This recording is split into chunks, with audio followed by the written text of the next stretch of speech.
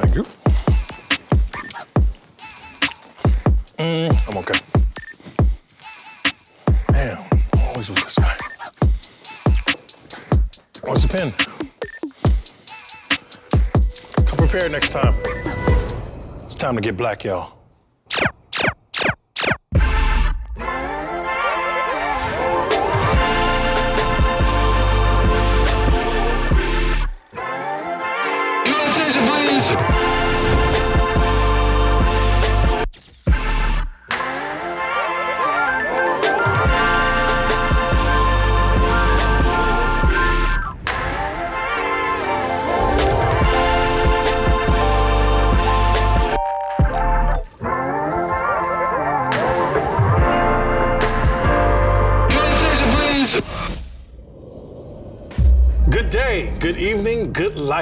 It's me, Craig Robinson, and I'm here to be your captain on a non-stop cross-country flight to the land of otherworldly blackness. And you've been upgraded to first class. Can I refill that mimosa, player? What's that, you ask? Is this flight going to Atlanta? I did say the land of otherworldly blackness, but no, it was merely a metaphor. To let you know what we have in store in this week's episode is the stuff of legends. An astrophysicist, a teenage filmmaker prodigy, and twin sisters who are changing the way we all see the world, literally. So sit back, relax, and let's enjoy together. Been waiting for this. so what? I got a few more things to do. I gotta introduce the first piece before I can enjoy my favorite oxtails. Okay. Go, go, go. Non-equilibrium plasma sterilization of spacecraft materials. Thermal fluid sciences. Jet propulsion planetary protection group. Y'all following me? Really? Really? Really? Because I lost myself at plasma sterilization. Lucky for us, Dr. Moogega Cooper knows exactly what all of the above means. A BA in physics from Hampton University, a master's and PhD from Drexel, and currently a project lead on a top secret interplanetary mission. Dr. Cooper is showing that a career in the cosmos doesn't have to involve Billy Dee Williams, Chewbacca, or Baby Yoda. Let's see how she reached for the stars and is still very much amongst them.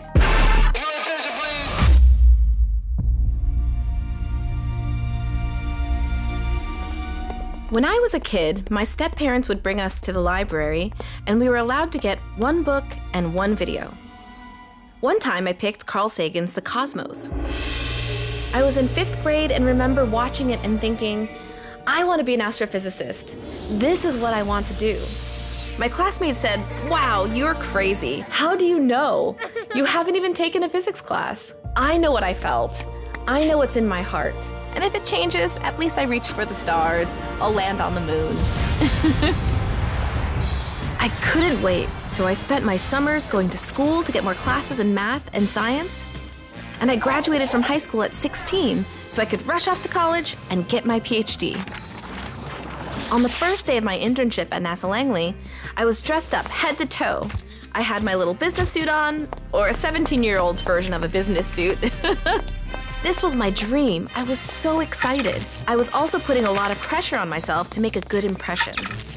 I came to realize yes, it's serious to work for NASA, but everybody here is human and has a passion. And as long as you have a passion, you are very much accepted in the community as a scientist. What really inspires me is the long game. That big question are we alone in this universe?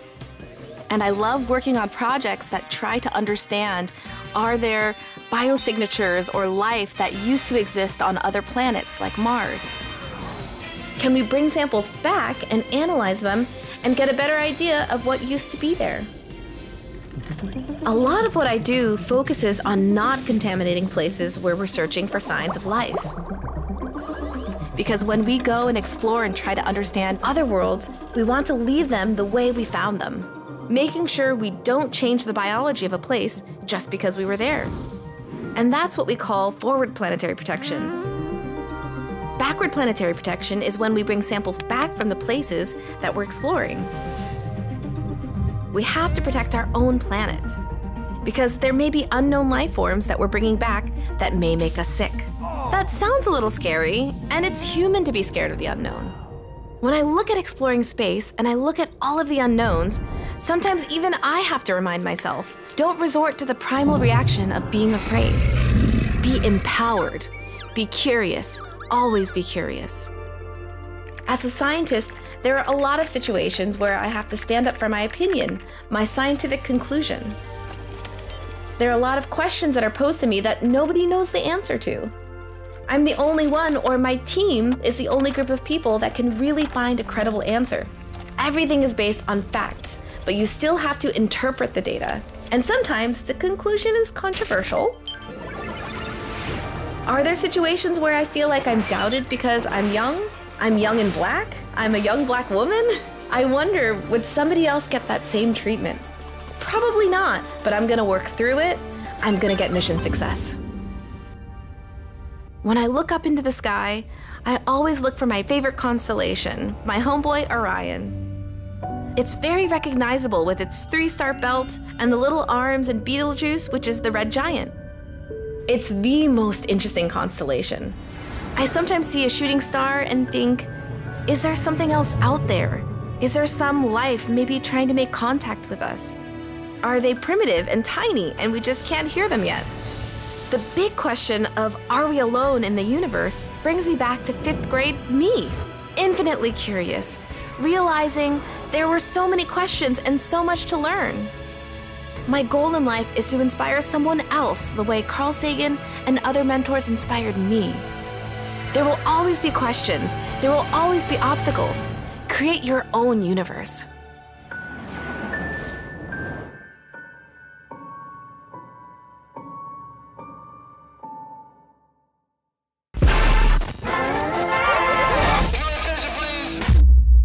I know who I'll be calling when I enter into that adult science fair next month. MySpace. Ever heard of it? I still remember running to my desktop computer to see if at least one member from Destiny's Child was finally in my top eight. Shout out to Michelle. Bless her heart. Now, I bring up MySpace because our next profile is focused on two identical twin sisters, Coco and Breezy, who famously said in 2008 on their MySpace that they were visitors from the year 2020. Well, here we are, 2020. And based on how they're killing their craft, it's like they had a 12 year head start. From designing eyewear for Lady Gaga to the legend Prince himself, their imagination, focus, and familial bond has helped them navigate through the misconceptions and challenges of being young, black, female entrepreneurs.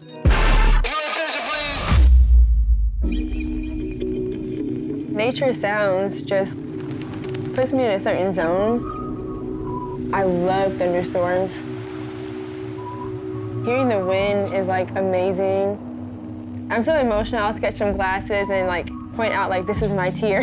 yeah, she does do that. if, if her tear falls on the sketch, she always does a little point. I do know that when people put our frames on, their personalities change. Absolutely. We've always been wearing a lot of jewelry since we were kids. always been extra. Always.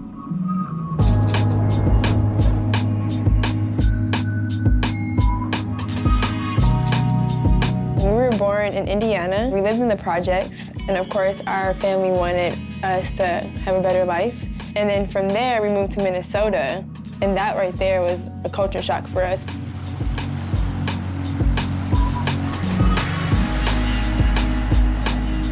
Once our parents got divorced, our dad moved to a city called Chanhassen, and that's when we experienced racism.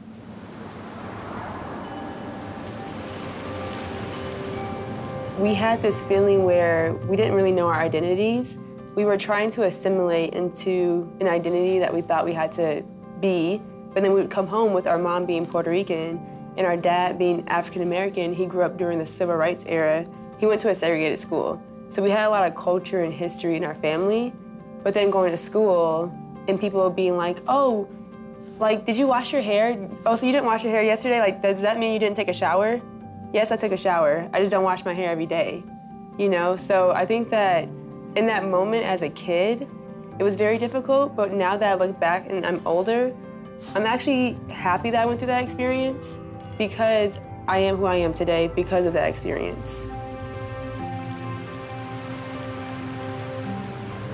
Our parents really allowed us to exercise our creativity and what that felt like.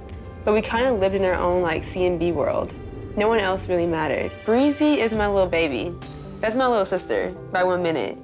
And she's the, the typical little sister that is really ambitious. But one thing that she has with her personality trait is that she's a go-getter and she gets what she wants. I think Coco is graceful and motherly, and she's an amazing leader.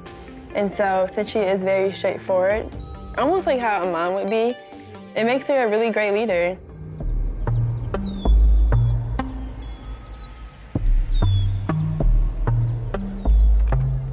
It was so interesting because since we did grow up in the suburbs, like our parents and our family all called us Coco and Breezy and we thought it was ghetto.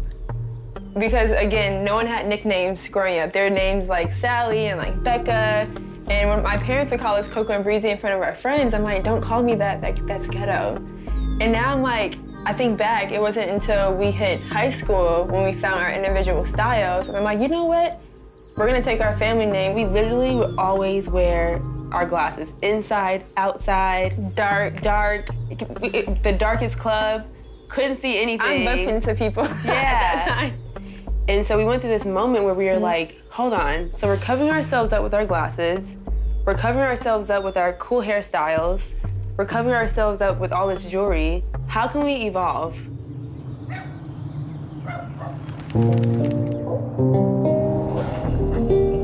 We were growing so fast, but we never took the time out to figure out who we were as individuals, mm -hmm. even who we were without each other. And also, oh, and at that time, we had never separated for more than 24 hours. You have to put yourself in an uncomfortable position to like find something new about who you are, or it has to be part of your journey. It's really beautiful how we've been able to figure out what each other's responsibilities should be because when we first started the company, we were attached at the hip.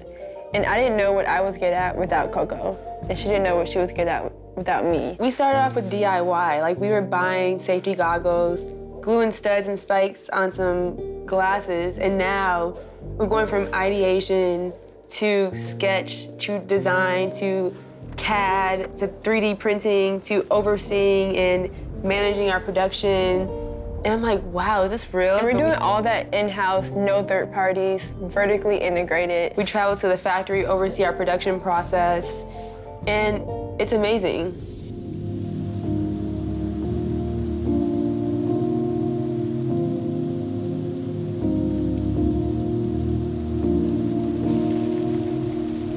It's so interesting because when we were younger, we created our own safe space. And as we've grown as individuals, as adults, as creatives, as entrepreneurs, now we're making a safe space for others. We're taking on those challenges. We do need a space like this to step back and just stay grounded, to make sure we have our, our head straight and that we can continue our focus. But if we're not taking care of ourselves, we're gonna be a disservice to the world. When you're in a space where you're not filled with other energies and people, and you can just step outside, sit on the porch, stare at the trees like moving from the wind, and look at a leaf fall down or look at the snow just cover the ground. It's a way of life. This year, it's not about asking, it's, it's about, about, demanding. demanding. Yeah. And it's demanding in a way where you cannot be afraid to ask for what you want. Especially when the goal is to make change, and that's even through our brand, we're gonna do it. Our biggest goal is to show people, young or old, how to be true to themselves, how to love themselves, how to be comfortable with themselves. And the bigger part is how to do whatever the heck you want to do without thinking of what others are going to think of you.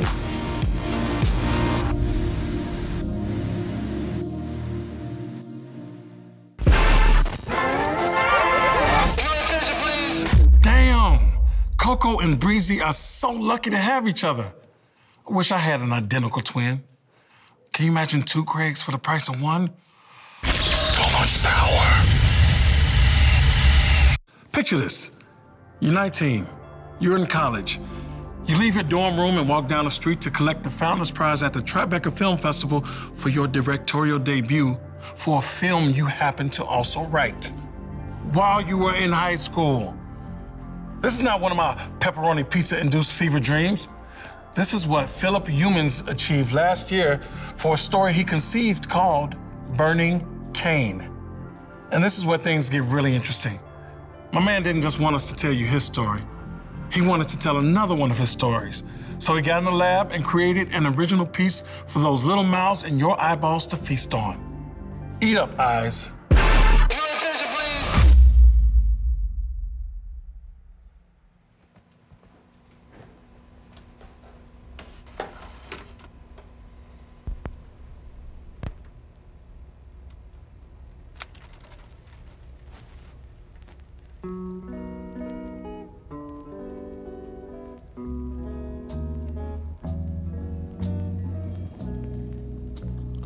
Confidential as a church at twilight. Confidential, sentimental as a rose in the My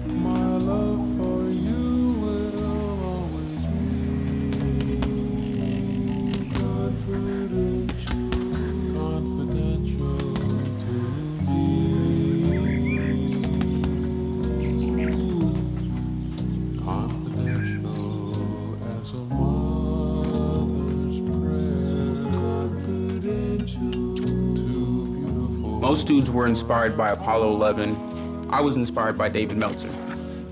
Meltzer paints architectural diagrams. He's designed moon colonies, submarines, airplanes, farms, and rocket ships. Meltzer's future is pleasing to the eye, but devoid of any feeling. It simply exists. How can that be, you ask? I stared at a single painting for hours. It was like meditating or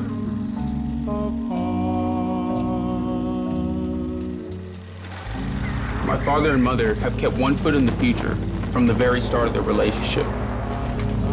They were the first in their families to go to college, first to buy a house, and the first to leave the South.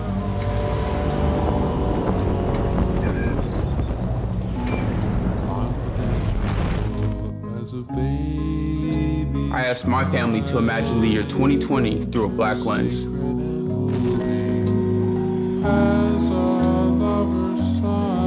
I'll bet money that by 2020, a black woman will be president of the United States.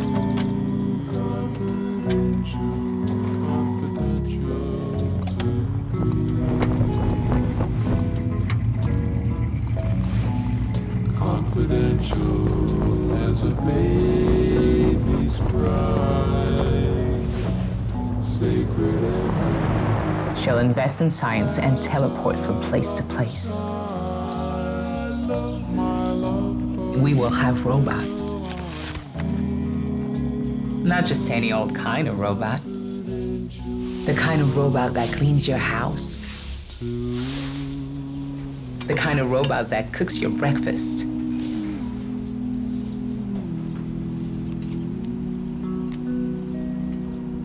Of robot that plays your records.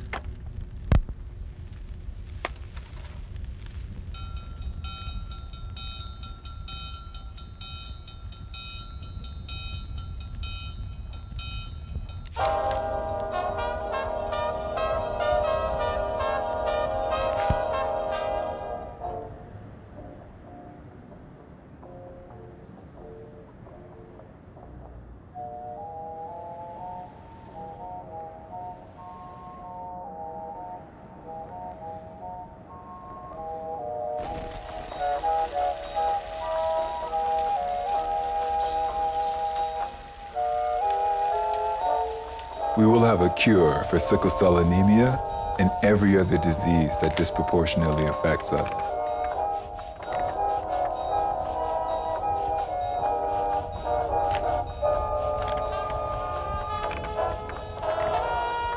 Artificial blood will be mass produced for transfusions.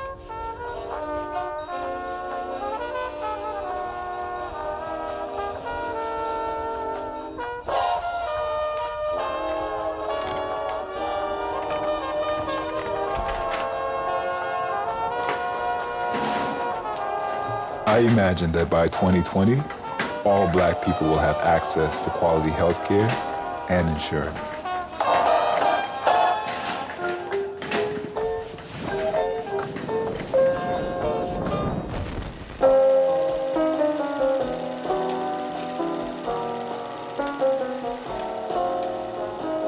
In 50 years, we'll be entirely self-governing.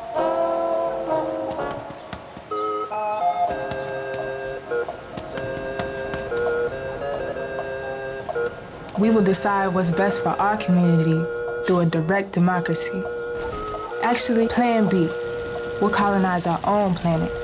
A planet with no money, no war, no military, and no jail.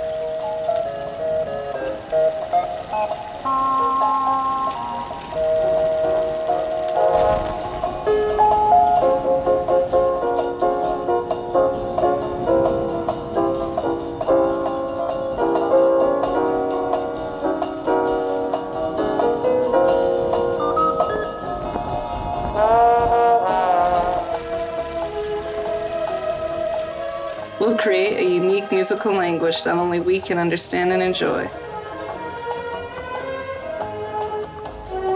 I'll be the first black woman to make music on the moon.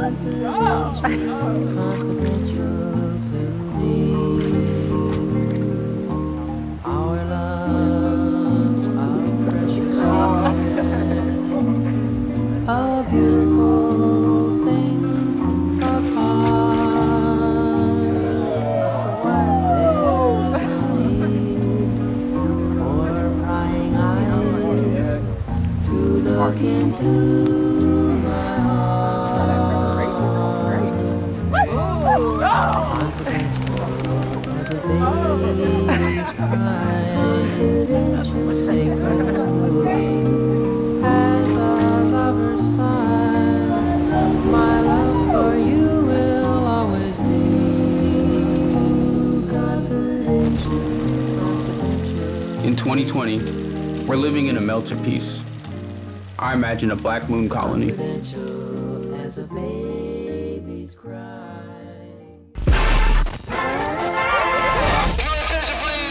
Okay, Phillip. And my man shot it entirely on film. Legend. But yo, Phillip, I'm gonna need you to cast me next time. My invite must have gotten lost in your drafts folder, right? Still love you, dude. So that's all the time we have today, y'all. Don't forget to tune in to next week's episode where we'll do it again with three new friends. And listen to the podcast where we dive even deeper into our stories. Check it out on iHeart or wherever you get your podcast fix. As always, don't be afraid to find what you love, share it with the world, and scream from the mountaintop. Your attention, please.